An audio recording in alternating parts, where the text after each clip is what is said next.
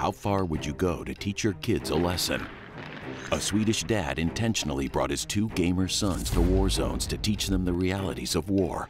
Carl Magnus Helgegren saw firsthand the consequences of war while a journalist in the Middle East and was determined to show his boys that war isn't cool. The family spent 10 days in Israel, the West Bank, as well as a refugee camp and a clinic where kids were being stitched up from war injuries.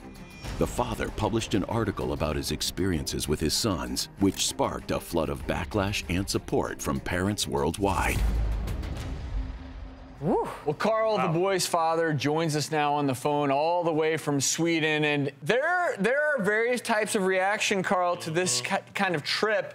Um, and I know you've gotten a bit of a backlash. What was the motivation behind exposing your kids to this so early in their lives? I wanted to teach my, my children when they wanted to play these games. I asked them, uh, have, have you ever seen war or do you know what war is?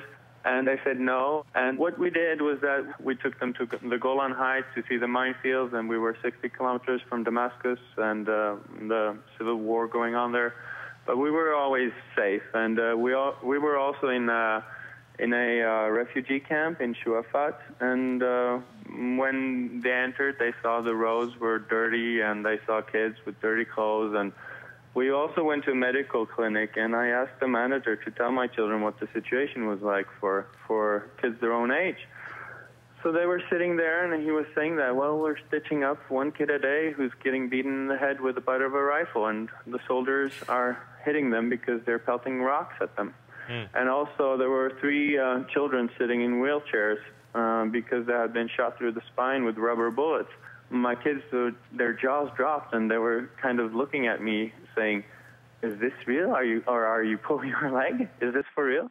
Were you afraid at all of creating any trauma to the kids, um, particularly, you know, for them to see anything that you know really could kind of give them nightmares or post-traumatic I mean, stress. It is disorder. a little like shock therapy. Yeah. Their reaction to this uh, was that they were shocked and they were a bit afraid, but then they calmed down. Or you know, it's not like there's a, a, a danger to them. They're just shocked from the story. Well, and I think Carl, you raise some really interesting points. Thank you for sharing those with us. And you know, Carl's kids admit now they actually don't want to play those violent video games. And That's according cool. to hundreds of like studies, that. video games with violent content are linked to more aggressive behavior in children mm-hmm. and teens.